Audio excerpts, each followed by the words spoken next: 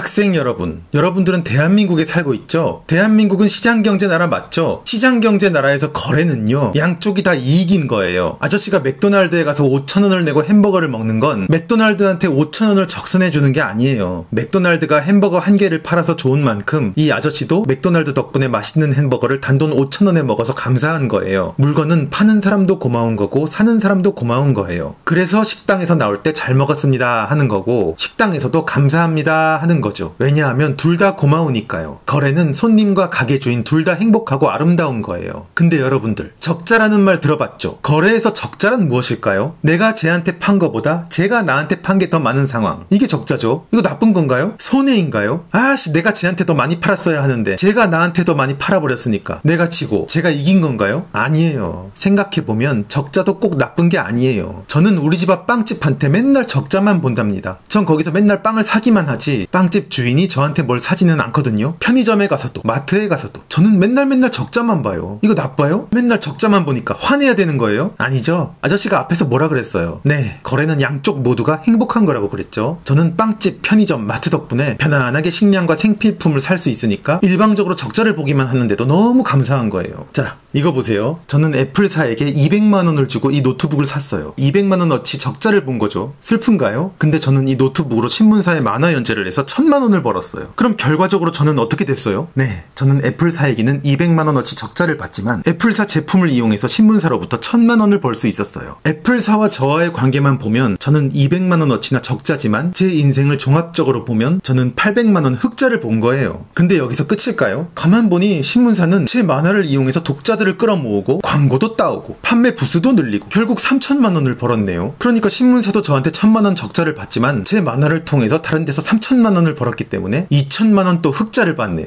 이게 거래예요. 세상의 거래 상대는 둘만 있는 게 아니에요. 그리고 적자는 흑자의 원동력이 됩니다. 적자가 없으면 흑자도 없어요. 자, 이제 나라 얘기 좀 해볼게요. 한국은 일본한테 늘 적자예요. 왜냐하면 이 나라는 일본한테 사오는 건 많은데 일본한테 파는 건 별로 없거든요. 그래서 막 손해본 것 같고 자존심 상하고 진 것 같고 막 그래요? 아니에요. 우리는 일본에서 사오는 재료들을 이용해서 반도체도 만들고 배터리도 만들어서 이걸 전 세계에 팔아서 엄청난 돈을 버는 나라예요. 일본에서 좋은 재료를 사오는 건 우리 입장에서 굉장히 고마운 거예요. 일본이 그 재료를 한국에 팔아서 버는 돈보다 우리가 그 재료를 이용해서 만든 제품을 전 세계에 팔아서 버는 돈이 훨씬 더 크기 때문이에요. 그래서 일본과의 거래는 우리에게는 생명줄이나 다름없는 굉장히 소중한 거예요. 근데 우리는 그동안 국익에 아무 도움도 되지 않는 북한한테는 병신 호구처럼 굴었고 국익에 막대한 도움이 되는 일본한테는 일진 깡패처럼 굴었어요.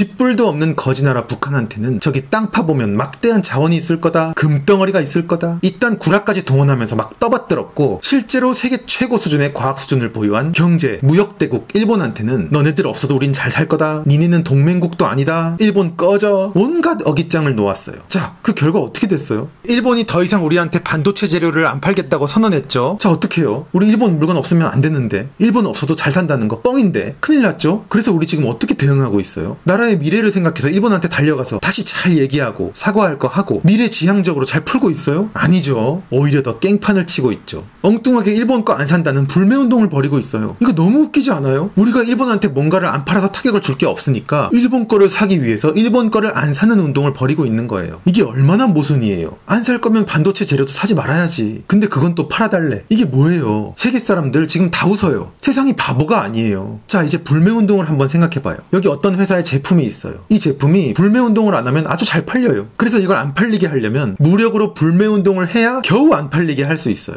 여러분, 이게 무슨 뜻이에요? 그쵸. 이 물건이 이미 시장에서 소비자들한테 널리 인정을 받은 좋은 제품이라는 거예요. 불매 운동이란 가만 놔두면 잘 팔리는 물건을 이제부터 회방을 놔서 안 팔리게 하는 행동인 거죠. 그럼 시장에서 널리 인정받은 물건을 세계적으로 남들이 다 쓰는 좋은 물건을 불매 운동을 하느라고 내가 지금부터 못 쓰게 되면 누가 제일 손해예요? 본인이 제일 손해잖아요. 시장에서 널리 선택받아서 잘 팔리는 물건을 못 쓰는 손해. 이거 엄청 손해 아닌가? 여러분들 포켓몬고 대신 국산 크레용판 고고 하면 좋아요? 원피스 대신 자랑스러운 국산 애니메이션 와피스 보면 좋아요? 플스4 대신 국산 게임기 제믹스 V 하면 좋아요? 앞으로도 뭔가 세계적인 좋은 제품이 출시됐는데 그게 일본 거면 이제 안 쓸 거예요? 그럼 우리 상대를 너무 잘못 고른 거예요. 그냥 포르투갈이나 감비아 같은 나라 제품들을 불매운동하면 정말 편안했을 텐데 하필이면 기초과학, 의학, 제조업 모든 분야에서 세계 최고 수준의 기술을 보유한 채 노벨상을 휩쓸 힘들고 아유 어쩌면 이렇게 잘 만들었을까 싶은 좋은 제품들을 미친 듯이 쏟아내는 나라랑 불매 운동을 해야 하는 처지. 참 대한민국은 팔자도 사납네요. 이제부터 우리는 세계적으로 훌륭한 제품이나 기술이 나왔을 때 그게 제발 일본 것이 아니기를 빌어야 해요. 이제 우리는 제발 일본이 좋은 물건을 더 못 만들기만 싹싹 빌어야 한다니까. 일본 사람들 제발 공부 못해라. 일본 회사들 제발 망해라. 일본 연구소들 제발 실험 망쳐라. 좋은 약 나오지 마라. 자 여러분 이게 얼마나 바보 같고 슬픈 일인지 좀 감이 오나요? 남의 불행을 빌면서 이렇게 환한 얼굴로 사는 인생 너무 서글프지 않나요? 다시 처음으로 돌아갈게요. 거래는요 파는 사람도 행복하지만 사는 사람은 더 행복한 거예요. 좋은 물건을 편하게 선택하는 자유롭고 행복한 인생을 스스로 걷어차고 뭐는 되고 뭐는 안 되고 우리들끼리 싸우고 두들겨 패고 눈치 보고 가리고 거짓말하고 합리화하면서 불편하게 사는 인생으로 바뀌는 거 이게 불매 운동이에요. 너무나 슬픈 운동이에요. 이제 이 아저씨가 무슨 말을 하는지 다 알겠죠. 근데요 이 나라에는요 이렇게 어린 학생들도 다 쉽게 이해할 만한 이 사실을 이걸 전혀 모르고 있는 어른들이 너무너무 많아요. 몸은 어른들인데 지능은 우리 급식 여러분들만도 못한 사람들이에요. 머리로 생각하지 않고 그저 감정만 앞세우는 어리석은 어른들이 여러분들의 미래를 망치고 있어요. 그래서 이 아저씨는요 요즘 지나가는 학생들을 보면 눈을 못 마주치겠어요. 그래서 오늘 영상도 이렇게 눈을 못 마주치고 옆으로 찍는 거예요. 너무 안타깝고 불쌍해서 얼굴을 볼 수가 없어. 이제 어떡할까요? 이 나라 이제 어떡할까요? 주변에 이상한 어른들 보이면 꼭 한번 물어보시고 한번 잘 설득해 보세요. 안 되겠으면 이 영상을 틀어주고 다 보시고 난 후에 답변을 한번 해달라고 해보세요. 만약에 보지도 않고 욕부터 하는 어른이 있으면 굉장히 부끄러운 어른이에요. 아, 소통이 중요한 거라면서요. 대화가 중요한 거라면서요. 한번 잘 말해보세요. 학생들한테 부끄럽지 않은 어른이 돼달라고 한번 말해보세요. 대한민국은 앞으로 여러분들이 더 오래 살아가야 할 나라예요. 우리 같이 지켜요. 마지막까지 이 아재랑 할 수 있는 거 다 해보기. 알겠지? 학생들 힘내. 어른들이 미안해.